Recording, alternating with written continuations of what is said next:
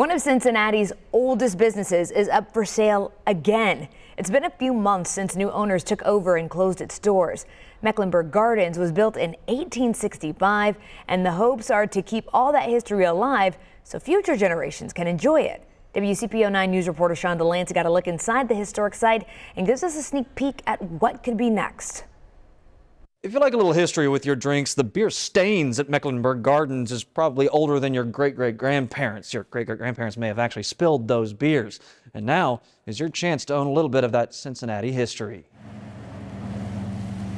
The doors at Mecklenburg Gardens have been shuttered and the parking lot has sat empty since October when new owners sought to renovate the nearly 160 year old German restaurant and beer garden. It's a shame that it's not operating. Joshua Rothstein with the on site retail group says that the unnamed owner bought the property thinking someone would lease it and overhaul the building, but that never materialized.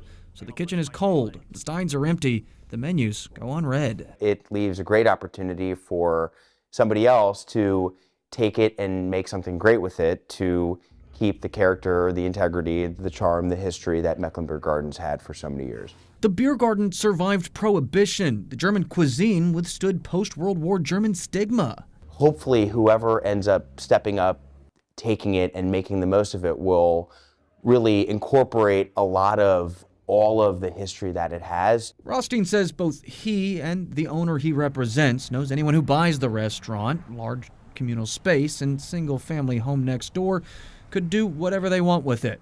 But the package deal does come set up to keep the Mecklenburg history alive and well. With the building, whether you buy it or you lease it, you're going to get the furniture, the fixtures, the equipment, the liquor license, and you can make the most of it. If you are interested in buying or leasing the place, we have information over at WCPO.com. In Corryville, I'm Sean Delancey, WCPO 9 News.